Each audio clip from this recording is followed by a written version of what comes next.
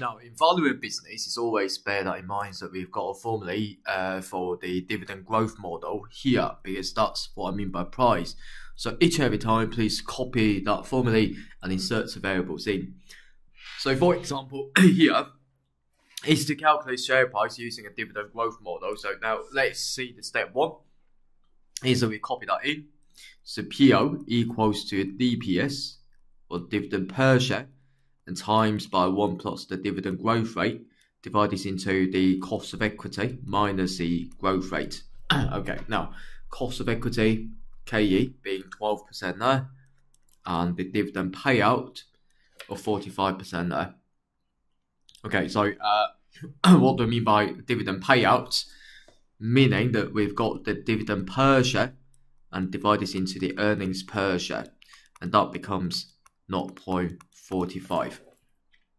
Now, we are told the EPS is 0.8, so which means 0.8 here. So in other words, we can work out the dividend per share, okay, in the numerator. so we simply take 0.8 times by 45%. Now, the growth rate being 4.5% there, so 4.5% there. So you can work this out, the share price being 5.02. So if we are given the number of shares being 10 million, so we simply times them all together, being 50.2 million. That will be the total market value. So share price will be 5.02. Okay, so we need to choose that correctly. And if that relates to the total value of equity being 50.2 million. Now, next one. so, uh, discuss the uh, limitations of the uh, dividend growth model. Now, the ways that we discuss about the dividend growth model would be this. The first way, the, the first things that we're going to be doing, again, copy that mnemonic, oh, sorry, not mnemonic formula, dividend per share now, times by 1 plus the growth rate and divide this into the cost of equity minus the growth rate.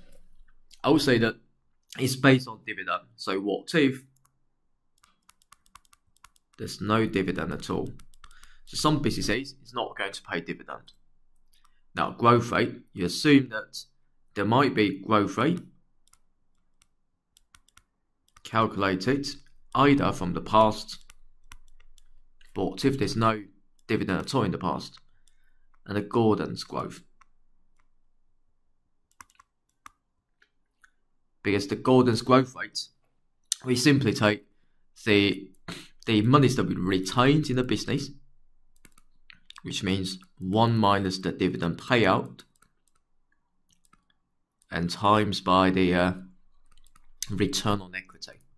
Now, in other words, when we're determining that return or RE here, it's quite subjective. Yes, sometimes you can use the return on equity, which means the money you retained and to uh, invest in the business in the future. To such an extent, particularly objective because you can use ROE. Alternatively, it's the margin to determine that RE. At the same time, to calculate that cost of equity, you use CAPM because it assumes the market is perfect. Now, how many points that you can write there? One, two, three, four. Okay, so this is how we gain four marks. Now, uh, the answer I'll show you here, for example, this assumes that the dividend growth at the constant rate, which means talking about G, and the cost of equity calculation, yes, using CAPM, we're talking about the KE. It assumes that we've got the dividend payment, which means we've got the DPS dividend per share, and it's more suitable with stable dividend payments companies, usually for bank. Using dividend valuation model would be good. However, for high-tech companies, they might not be paying dividend at all. So, for example, one of the famous examples would be Tesla. Okay, now no dividend at all, so uh, no point in using that formula. Moving on, the next one, uh, it's the MFZ company. So calculates the total equity value which means total, we take the share price and multiply by the number of shares. We are told the number of shares being 12 million. So we work out the share price, that would be good there. Now, using dividend growth model, so can you remember the first step? The first step is always, we don't change, so we copy that in. so PO equals to the dividend per share now, and times by 1 plus the growth rate of the dividend, divide this into cost of equity minus dividend. Oh, sorry, minus dividend growth rate. Okay, then. Now, um, it's a whole host of information there. So, but uh, we are focusing on the 2014. Now, we are given the uh, profit before interest and tax, so PBIT, PAT, profit after tax and dividend. Oh, equity market value, right, okay. So we are given total dividend. We are given the number of shares there. So you can work this out, the dividend per share being the total dividend. And to divide this into the number of shares.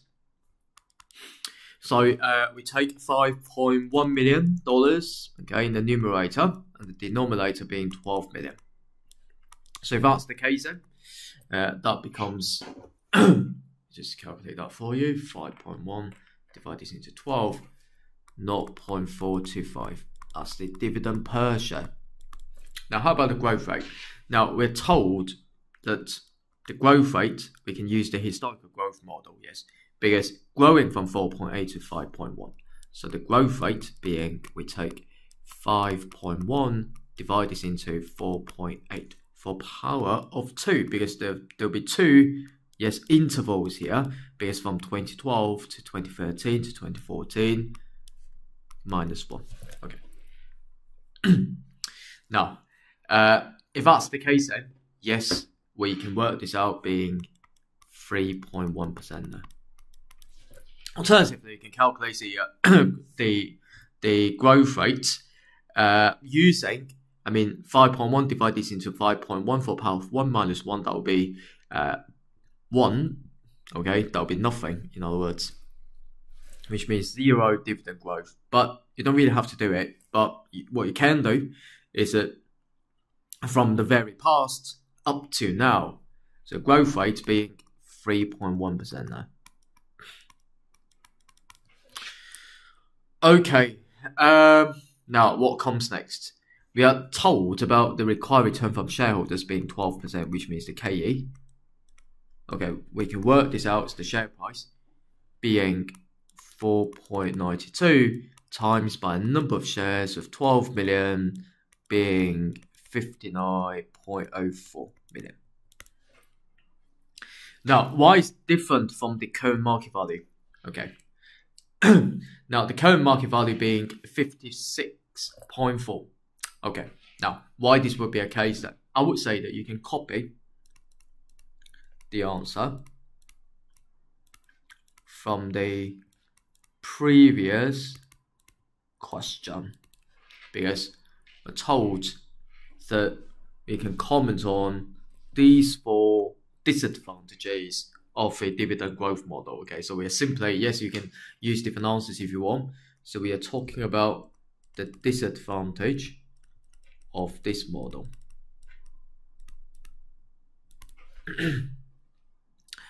now, um, moving on then. Uh, now, calculate the uh, company's value using the dividend valuation model. Okay, but firstly, is to estimate the current cost of equity. Now, uh, quite a huge question, I would say that uh, that we've done this before, yeah. So let's see how it worked this out. Now, uh, the current cost of equity, we are told about the risk-free rate and so on, the risk premium. So we can use CAPM formula which means cost of equity equals the risk-free rate plus beta times by return from a market minus risk-free rate.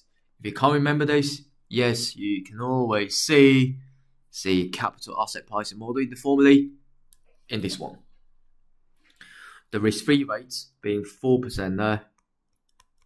And premium, premium means this minus that being 5%. So, uh, will be a beta factor. Is to find this uh, the company equity beta being 1.6. So 1.6 there. So you can work this out being 12%. Okay, now what will be the next one? Of course, things do not change at all. Okay, I don't like things to change. Now, so this means that I can copy the formula in the growth model. Price equals to the dividend per share and times by 1 plus the dividend growth rate. Divide this into cost of equity minus the dividend growth rate. Now, cost of equity, we told about 12%, which is calculated before. Now, let's read the question.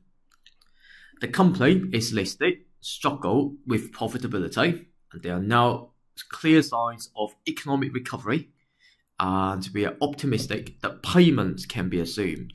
So this means that we can calculate the dividend per share. So we are told about the forecasted information, and we've got the year one to three into the future. Okay, regarding the dividend. So all in thousand. So this means that we're told about the total dividend. The company is okay with the earnings and dividend will increase after year three at the constant annual rate. So this means that after year three, which will be perpetuity, and this means that after year three, we can apply the dividend growth model, or the formula will apply after year three. Okay. Now, we're told about the company uh, gearing and, uh, and, and, and so on, and, and, and the additional debts and so on. Okay, so uh, we're not particularly interested about those. But uh, what we can say is that because we will get the dividend in year one, zero, we will get a dividend of 500, we will get the dividend of 1000. So all we can do is that uh, after the third year, okay, which means uh, from the, uh, I mean, after the, at the end of the, uh, sorry, at the start of the year four, yes, we'll get the dividend also, okay, in, into the future. Now, what we can do is this.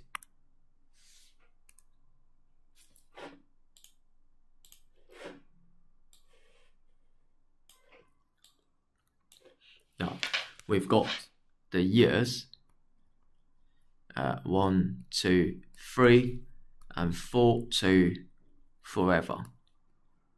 The dividends that we can get being zero, 500, a thousand, and the dividend growth models that we need to apply.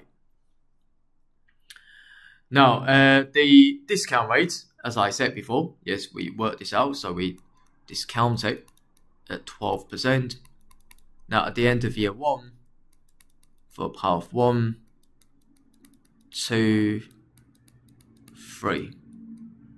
Okay. Now at the same time, my tip when we are applying the dividend growth model would be to use the discount factor, okay, previously.